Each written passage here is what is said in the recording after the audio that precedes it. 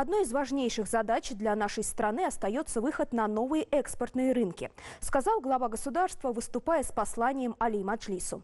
И вот с сегодняшнего дня для Узбекистана вступает в силу специальная система преференций Европейского Союза для устойчивого развития и эффективного управления GSP+, куда Узбекистан был принят в качестве страны-бенефициара в рамках всеобщей схемы преференций.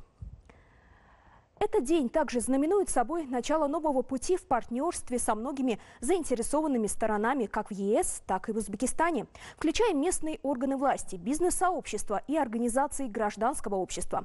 Будут отменены тарифы на ряд важных экспортных товаров, таких как ткани, одежда и изделия из пластика.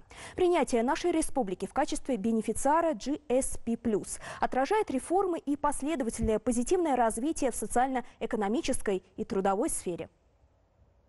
Узбекистан получил э, статус э, страны-бенефициара от программы GSP+. Суть ее в том, что она дает э, государствам, которые получают статус бенефициара, возможность экспортировать товары на территорию Европейского Союза без дополнительных таможенных сборов, акцизов и платежей. Соответственно, это открывает огромный экспортный потенциал для производителей продукции в Узбекистане. Если говорить о цифрах, Узбекистан экспортировал на территорию Европейского Союза а, в 2020 году а, товаров на 60 миллионов долларов. По прогнозам экспертов, только лишь в течение года этот экспорт может увеличиться до 300 а, миллионов, то есть в 5 раз за короткий период. А до 2025 года, опять-таки по прогнозам экспертов, этот экспорт на территорию ЕС текстильной продукции может увеличиться до 1 миллиарда 200 миллионов долларов, то есть практически в 20 раз. То есть это вот на примере конкретных а, цифр мы можем видеть а, экономический эффект от а, значит, получения статуса бенефициара. Важный факт, здесь его нужно отметить, Европейская комиссия, это исполнительный орган Европейского Союза, вчера опубликовала коммюнике по поводу присоединения Узбекистана к этой программе. И там четко одним из первых пунктов говорится о том, что Европейский Союз признает и поддерживает осуществляемые в Узбекистане правовые, политические, э, экономические реформы.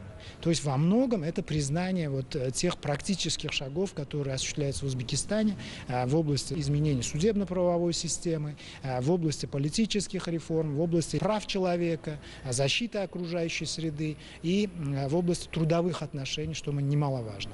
А потому что вот одним из условий присоединения к этой программе является ратификация 27 международных конвенций по высшему указанным направлениям. Да? И Узбекистан ратифицировал эти 27 международных конвенций, но мало того, что ратифицировал, он активно их а, осуществляет в жизнь. И это вот со стороны а, Европейского Союза признано, и вот как факт мы видим, а, значит, присоединение Узбекистана к данной программе.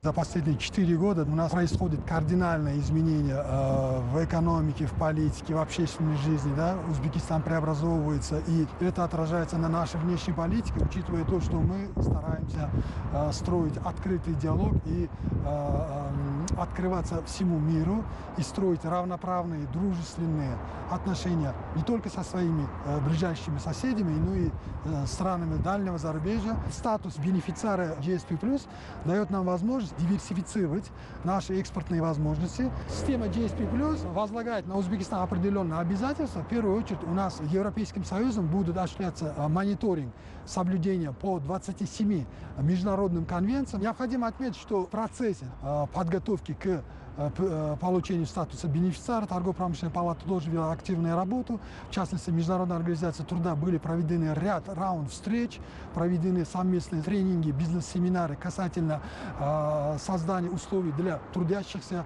значит, касательно вопросов соблюдения трудового законодательства э, на э, малых предприятиях. Были проведены в течение 2017-2020 годов ряд семинаров, тренингов, которые послужили также на пользу нашим э, субъектам предпринимательства в плане создания, внедрения международных стандартов именно по соблюдению э, трудовых прав. Теперь у нас предстоит задача по разработке дорожной карты для того, чтобы мы воспользовались преимуществами э, статуса бенефициара по системе GSP+. Активная работа будет вести с э, отраслевыми хозяйственными объединениями, с субъектами предпринимательства, для того, чтобы мы нашли именно ключевые стратегические экспортоориентированные продукции, товары, которые наиболее востребованы в Европейском Союзе и которые будут на первом этапе успешно, быстро значит, завоевывать эти рынки.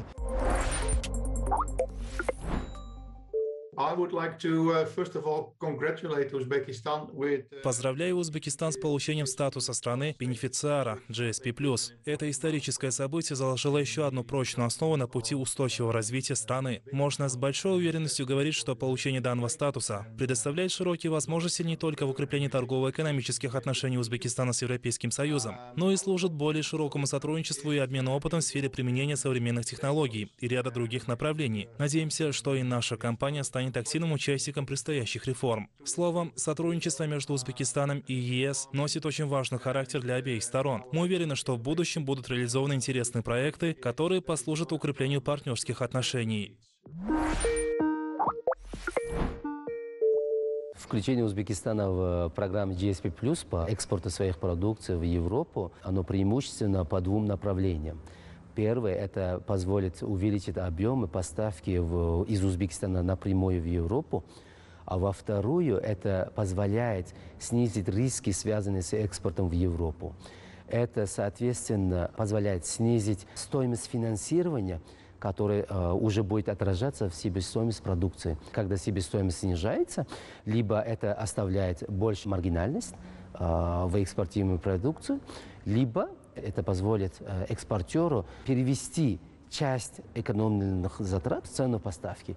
А это, в свою очередь, дальше способствует увеличению объема экспорта в Европу. А вхождение в э, членство GSP+, для частного сектора это в первую очередь э, возможность экспортировать в страны Европы без таможенных пошлин. Это говорит о том, что если мы э, избавляемся от таможенных пошлин, то наша конкурентоспособность на международном рынке увеличивается в разы. Что касается GSP+, это не просто одна страна, это Европейский Союз. То есть это ряд стран, куда мы можем экспортировать без таможенных пошлин. Конечно, это большая помощь для частного сектора Узбекистана, но надо понимать, что это не только некие льготы, но это еще и ответственность, потому что попадая на рынок э, Европы, мы и конкурируем с многими странами. Вхождение в GSP+, это в первую очередь означает то, что нам сейчас э, очень усиленно нужно соблюдать качество нашей продукции, поднять его до европейского стандарта и уже потом экспортировать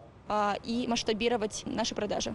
Сейчас для узбекских производителей это как раз-таки тот самый момент, когда нужно обратить внимание на многолетний а, опыт Европы. Так, например, на организацию GCCA, Golden Cold Chain Alliance, которая десятилетиями как раз-таки выработала некую формулу технологических правильных процессов при заготовке сельхозпродукции. Таким образом, комплекс этих двух аспектов, то есть уверенное заготовление хорошего качества продукции, а также те льготы, которые дает э, вхождение в GSP+, непременно даст большой скачок в экономике Узбекистана, а именно в экспорте продукции.